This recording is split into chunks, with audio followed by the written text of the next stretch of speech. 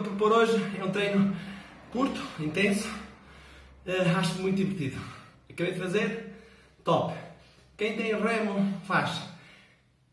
São 5 circuitos de 75 segundos, com descanso entre cada circuito de 2 minutos.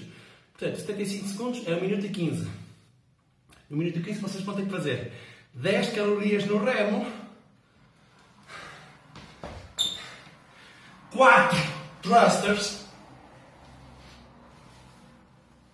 4 thrusters.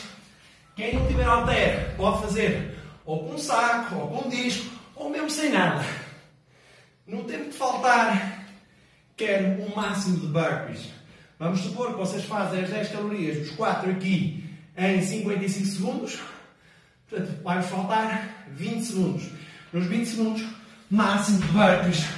Com salto por cima do objeto que estiverem a fazer. A utilizar 5 rondas, 75 segundos, 2 minutos de descanso entre cada ronda. O que vai contar é o número máximo de burpees. Aqui. Quem não tiver remo, pode substituir o remo por quê? Vamos fazer 5, 50 saltos à corda. Quem não tiver corda, pode fazer 50 saltos aqui. Tá bom? Mantém-se tudo igual. Bom treino!